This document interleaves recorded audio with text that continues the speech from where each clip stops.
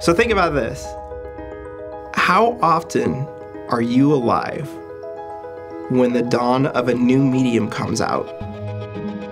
I knew that I had to be a part of VR because there are no rules for what VR should be.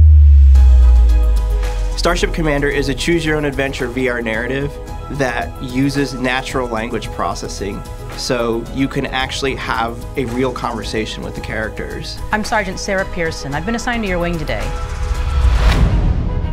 When we started making Starship Commander, we had to figure out how do we get technology that can understand what a person's saying so that we can have these new narrative experiences. We're a science fiction game. We come up with new words.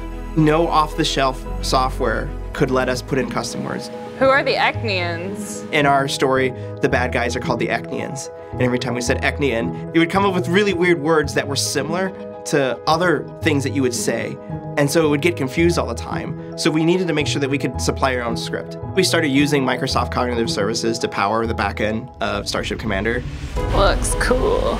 Once we plugged custom speech service into Starship Commander, I had tears in my eyes when I was playing it because it's like, oh my god, oh my god, this is it. This is the experience we want. Open the hatch. Voice print accepted. Welcome, Commander.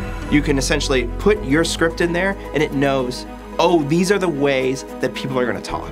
And these are the phrases that they're gonna say. Cool. What's my mission?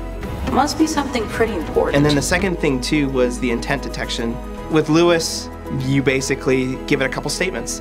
After you've given it a couple statements, you crunch it and you start typing in your own statements, and it's shockingly scary how good it picks up even stuff that you didn't put in there. Computer, use autopilot and let's be on our way.